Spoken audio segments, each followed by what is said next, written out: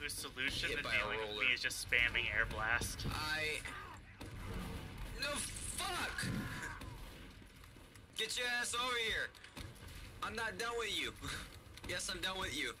so I'm, I'm done with you right now. Maybe I'm not.